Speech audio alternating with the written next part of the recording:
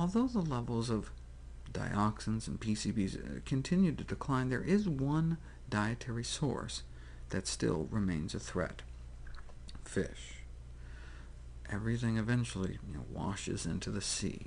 Yes, we can get some from eating horses, but most of human dioxin exposure comes from eating fish.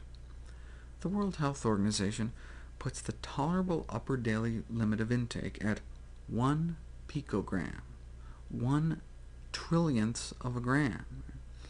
As you can see, just eating dairy, and we're already skirting with a max, and fish takes us straight over the top.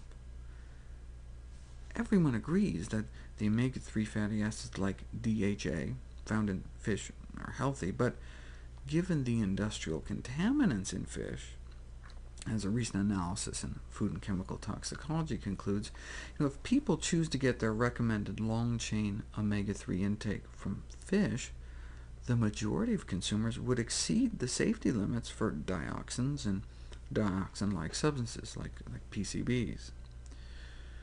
And just like with eggs in last year's update, factory-farmed fish have significantly more dioxins. In fact, for every toxin tested, farmed fish higher levels of DDT, and these other banned pesticides, over 10 times more PCBs, 10 times more dioxins than wild caught fish. Aquaculture fish can be considered farmed and dangerous.